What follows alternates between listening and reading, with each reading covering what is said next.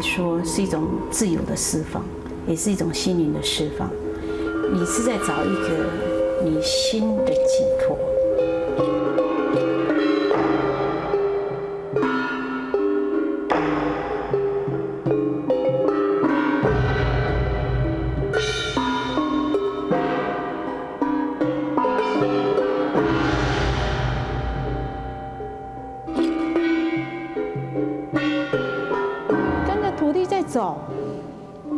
好像你把整个人都献给土地的感觉。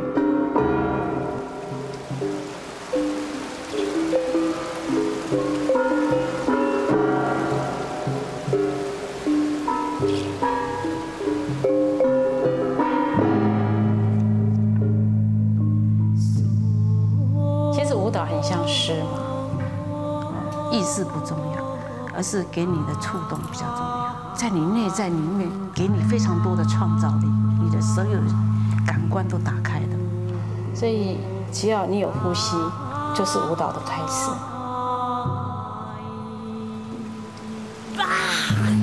你看我的我的弧度，那个力量就在你里面，在跳舞的人是很幸福的，很丰富的。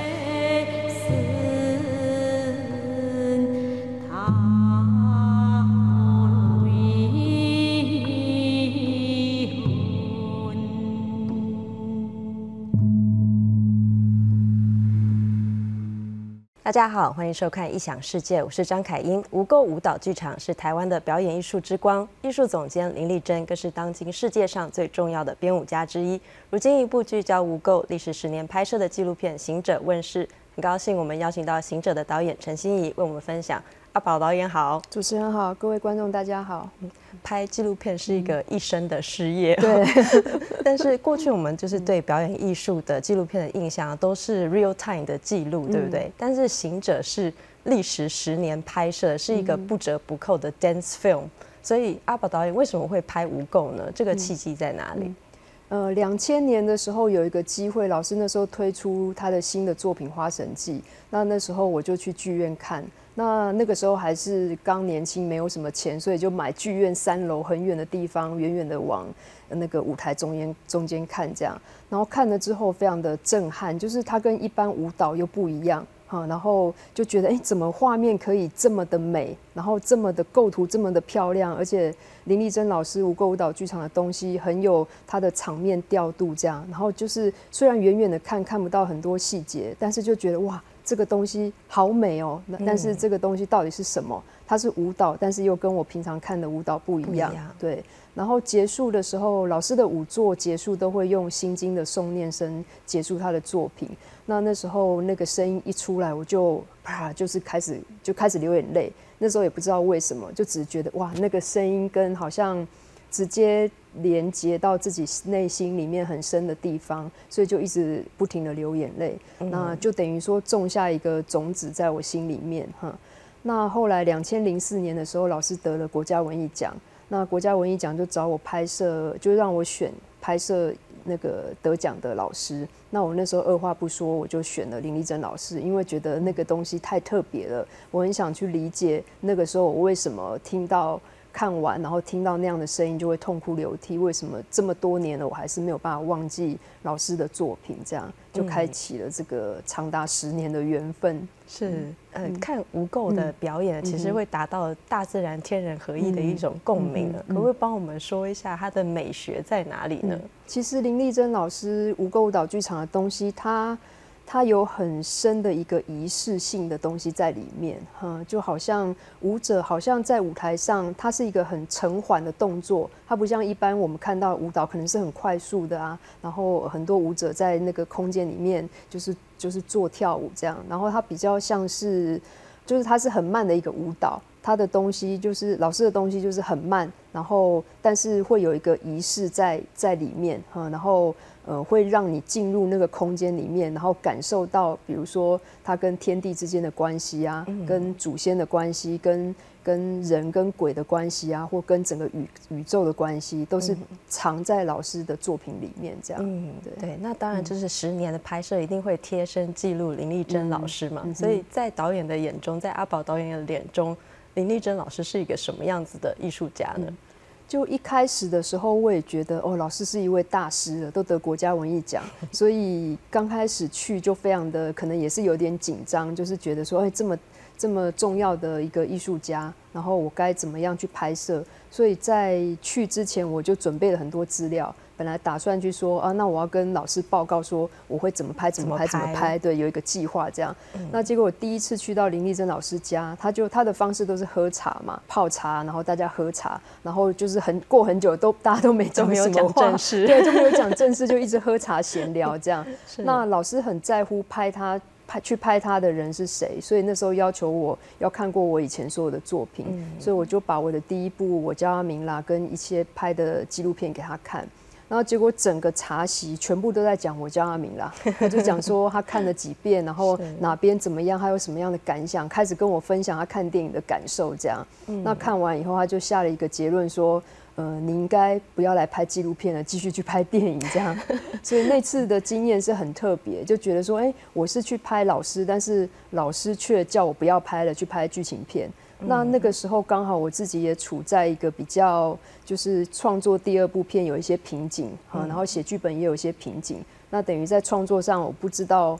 呃，该往哪里走，就有点心不是这么安定，就有点在漂移。嗯，那所以遇到林玉珍老师，给我很大的一个安定的能量。就老师他是一个能量非常强的人，对哈，所以我就就觉得说，哎，好像遇到老师之后，给我很多的反馈，让我可以继续往创作这条路更安定的往下走。嗯，所以后来才在隔了两年，就就拍了《流浪神狗人》这样。那老师其实呃。大家看他平常好像很严肃，很多人看了我的片之后说：“哈，原来林丽珍老师很像一个小女孩这样。”对，就是可能大家认知的林老师，可能在比较严肃啊，比较沉稳，都是比较呃，就是在在专业的那个形象。对，但是后来我这样拍了，跟拍了十年下来，会觉得老师他其实很是一个很纯粹的人。嗯，他做事情、做他的创作、他的生活，都是一个很纯粹的状态。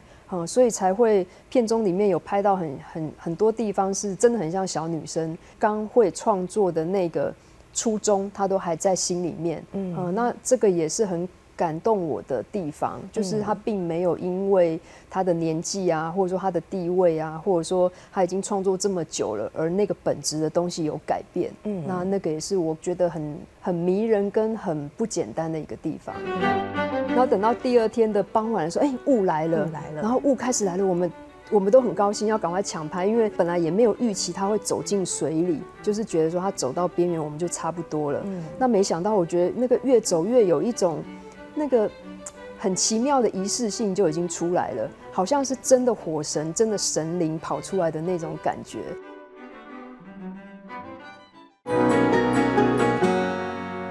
刚刚说《行者》是一部不折不扣的 dance film 啊，因为历时十年的拍摄，要怎么样就是截取最精华的部分，成为一部完整的纪录片呢？就十年拍下来，大概就有差不多一千个小时，一千个小时，光呃，我看那些素材，大概就看了一年了。嗯，那这等于说这个十年拍下来。我觉得很好玩的是，也不止在看林老师的变化，也在看我自己的变化。嗯，因为十年拍下来，你刚开始可能很专注在一些比较表面的构图啊，或者说拍到一些好像比较表面的东西，但是慢慢的你会往下更深入去挖掘这个艺术家他到底他创作的源头在哪里，是需要历经一点时间的沉淀，跟说你。呃，够熟悉这个艺术家，你才有办法拍到这个部分。这样，对阿宝导演最后决定用什么样子的叙事方式来呈现行者，来呈现无垢呢？嗯嗯嗯。最后我是用一个一个一个一个有点像是章节一样，哈，因为这十年发生过非常多的事情，那我也不可能用一个时间序，也不可能用老师的五座去讲，只是五座。那其实这部片很想除了。其实不只是在介绍无垢舞蹈剧场，而且还是在介绍林丽珍老师她的创作上的态度，还有对她人生的态度。这样，所以是在讲，还是回到原点，还是在讲一个人，一个创作者，他如何在面对他的生命，如何面对他的创作的一个过程。这样，那所以后来我是采用了一个有点像是呃，一个章节一个章节，像阅读一样，一个章节一个章节在讲不同的事情，嗯，然后比较是从一个女人的眼睛的角度，哈，包括老师也是一个女人嘛，我也是一个女人，然后呃，等于说从女人的眼睛去看这些，呃，不管是老师的创作也好，或她的生命历史也好，那刚好也呼应到林丽珍老师的。作品里面常常也是用一个女人的眼睛去看待所有的事情。教里面是在讲讲那个先民渡海来台，然后有张权械斗，然后最后呃可能有战争啊这样子的一个场面，然后最后女人留下来，这样大概。大概是这样的故事，那所以也是很像是用一个女人的眼睛去看待这个整个环境、整个世界的一个感觉，这样。嗯，所以就就导演来说，这次其实也是跟了吴垢上山下海，去了很多台湾的秘境地方去拍摄。因为这部分的话，觉得拍行者最困难的地方在哪里呢？当初拍摄的原点，因为二零零四年。在拍的时候就一个月就结束了，因为那个时候拍摄期很短，然后必须要赶快交一个片，让颁奖典礼可以放映，这样，所以就是有一个目的性很强。对，那拍完之后，我自己是觉得还不够，因为我就觉得我还没有找到那个老师创作的原点。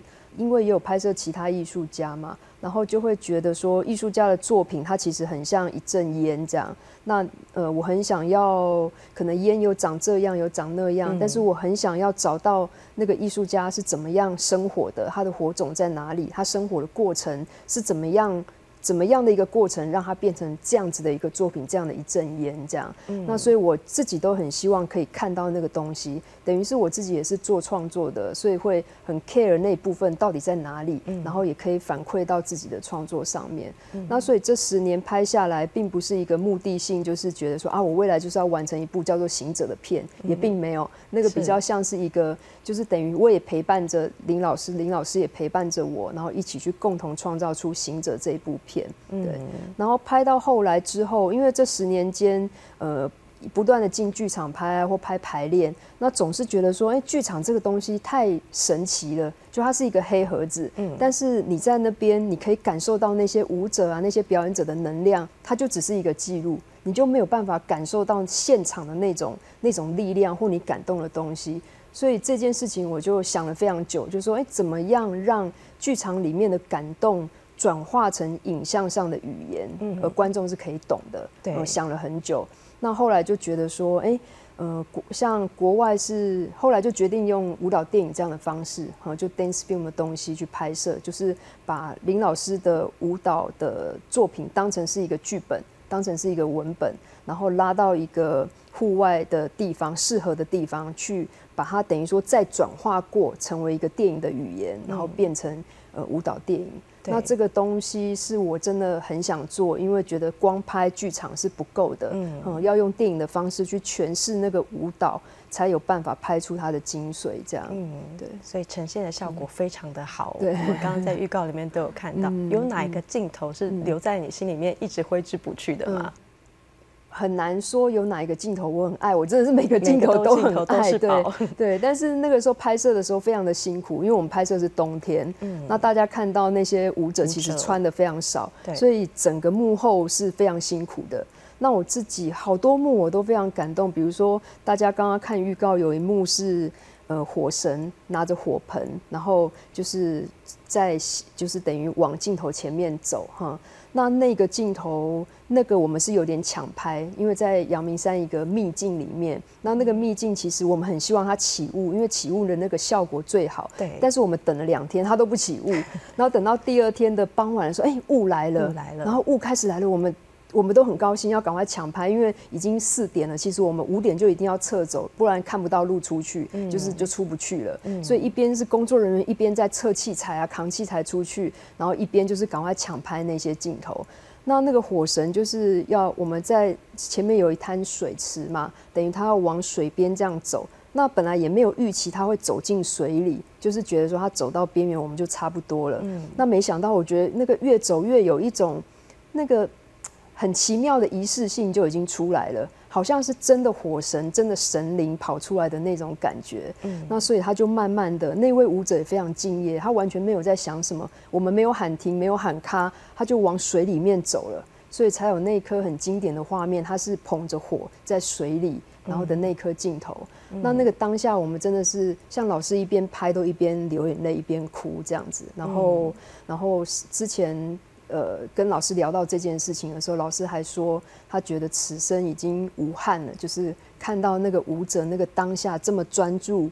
他已经就是火神了，他不是舞者，他不是演员，他就是火神了。这样走进水里，他觉得他看到那一幕，他已经觉得就就够了。这样子，是对对，真的大家都跟着这个就是舞者，就是进了一场，就是像是进化的一种仪式。对对。然后认识林丽珍老师，的确是在我比较呃，就是心安不安定不下来创作的时刻，就对于自己的创作有一些疑问，不知道自己创作要为了什么。或者说要往哪边走，台湾也很少有女性的典范，是你可以就望着她，然后你就朝着她走去。对，不管是你走弯的也好，直的也好，或者说不同的，你总之有一道光在那里。对对。阿宝导演上次来节目的时候，你有说到，你不管就是拍剧情片还是拍纪录片，都觉得自己是一个边缘的人。对。然后，而且就是一直在两边是在摇摆的。然后，或者是说在创作上，创作第二部剧情长片的时候，有遇到很大的瓶颈。所以，是现在的心情怎么样呢？这一路创作的历程是怎么样呢？其实刚好拍《无垢》也拍了十年了。然后认识林丽珍老师，的确是在我比较。呃，就是心安不安定不下来创作的时刻，就对于自己的创作有一些疑问，然后对于整个那时候大环境、电影产业没有很景气的时候，也有很多的疑问，不知道自己创作要为了什么，或者说要往哪边走，就是有非常非常多的疑问，也不知道我做这些事情要做什么。这样，那等于这十年下来，我觉得现在是这十年下来，或者说认识林丽珍老师，让我觉得比较安定吧。嗯，他就是一个 model 在那边，让我可以朝着他走。台湾也很少有女性的典范，是你可以就望着他，然后你就朝着他走去。对，不管是你走弯的也好，直的也好，或者说不同的，你总之有一道光在那里。对对对，你就是可以看着他哦，老师可以这么安静的做他自己做的想做的事情，然后这么专注的、这么极致的把他的作品做好。我觉得这就给人家一个很安定的、稳定的力量。那等于说，这十年来，这个也是这样一股稳定的力量，让我可以持续就是专注做自己想做的事情。虽然说我可能走的拍电影的道路不像一般其他电影导演，可能一步一步一步一直拍，我总是在在旁边绕一些路，然后有有很多奇奇怪怪的事情，所以就就像上次会讲说，很像边缘人是这样。对，那但是就是就是有点认清自己可以做什么，不能做什么。然后创作该往哪里去，是这十年下来觉得比较安定、比较稳定的状况，就就对出现了。嗯嗯，其实阿宝导演不管是剧情片还是纪录片，其实都非常的好，拍的非常的好，都让我们非常的惊艳。刚刚阿宝导演有说林丽珍老师变成是你的 role model，所以最后你找到了就是。他当初触他的作品触动你的原因在哪里吗？那个源头是在哪里？有可以从很多层面讲，一一个层面是老师做事情的极致，就是他要求他的舞者要尽全力，然后所有的细节他都做到要求到完美。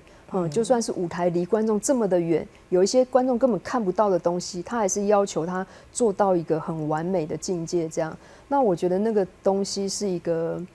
呃，台湾正在消失的一个工艺上的精神吧。工艺就是你把东西做得很好，然后献给别人。嗯。然后当这个东西出现了以后，才会有所谓的艺术的呈现。嗯。那那个是一个我们源头的根，这样。那我们如果根没有找到的话，是没有办法跨出去的。就好像老师一直会讲，一棵树要有根嘛。嗯。你根扎根了以后，你才有办法。往外走哈，或者是片子里面老师会觉得说，呃，如果没有百分之九十九的传统，你那百分之一的创新很快就会被浪潮带来带去，就不见就消失了。所以我觉得那那样子的对作品的态度跟对艺术的高度，是我自己获益非常多的。就是你扎扎实实的做事情，做好每一件事情，对自己的作品诚实，这样。对，我们刚刚有谈到说，其实你下一个案子是剧情片嘛，所以所以可以帮我们说一下你未来的方向吗？你有想要拍什么样子的题材？嗯，最近有在写两个剧本，其中一个剧本是已经已经完成了，正在修改这样，然后片名叫做《奇幻公寓》哈。那奇幻公寓就是它是关于台北市，我假设它也是有点魔幻写实的电影。那我假设台北城底下还有另外一个地底城，哈，因为大家都知道台北有柳公郡嘛，它是被盖起来的。那柳公郡有一小节渠道在新生北路高架桥的下面，它还露出来。然后我是有一天经过的时候，看到有清洁队员在在前面的渠道坐一条小船在捞那个垃圾，嗯，然后我就看着就觉得很惊讶，说哇。那里原来是可以走船进去的，那我就开始幻想，搞不好可以整个柳公郡都还是通着，然后可以从那里面去蜿蜒去有一个台北的地底层，有一些人是生活在底下的，对，所以有点魔幻写实这样的故事，这样是完全不一样的挑战，对对对，跟纪录片非常不一样这样子。但是我们回到就是行者来说啊，就是其实非常接近创作者的初心，所以导演你觉得你想要透过行者带给大家什么样子的回响呢？当初。在剪接行者的时候，就是一千个小时嘛，要怎么筛选？那当时当然有很大的挣扎，就是要怎么样呈现这部片？因为拍片很久，大概也知道纪录片怎么剪接，你会变成什么样的片？比如说有比较呃 discovery 式的，或评论式的，或哪一种有非常多的方式。对。那在剪接的时候就已经做了一个决定，就是当然这部片它可以呃剪接的所谓的。呃，艺术性更高，就是嗯，就是比或者是说影展比较喜爱的方式去剪接。嗯，那我后来就觉得那不那个不是我想要做的方向。对，我今天做这部片，或者说这十年的时间，都不是为了要成就一个这是谁的作品，或者说这是谁的纪录片，并不是要讲这件事情，而是真的希望把这十年来我从林丽珍老师身上获得的能量。嗯，带给别人，所以我自己都觉得这个片子，与其说它是一部影片啊，我真的觉得它比较像一个礼物，它就是我真的很真心诚意想要把它献给台湾的观众，嗯，因为这十年来我获得了很多。然后我也希望把这个获得再带给其他人，比较是这样的一个心态，对，所以当初就决定说，那我应该要把我感受到的或无垢舞蹈剧场的精神，或者说林立老林丽珍老师对于创作的态度。呃，很完整的呈现在这个片子里面，对，比较不是为了成就一个谁谁谁的作品这样子，嗯，对。那所以去年在一些影展有放过一些，因为入围有放过几次，对。然后后来观众的回响也也更加让我嗯坚定这样子的想法吧，哈。有些观众就看完就是哭着出来这样，或者是有一些朋友好像在自己也是人生比较飘忽不定的时候。他们可以从这部片里面，或从林丽珍老师的身上，可以获得一些力量，或者说再继续走。那也有很多做剧场的朋友，就是看了以后觉得说，他因为剧场比拍电影更辛苦，对对，有时候就是很难再支撑下去。然后看了之后，他也是觉得说啊，他好像找到。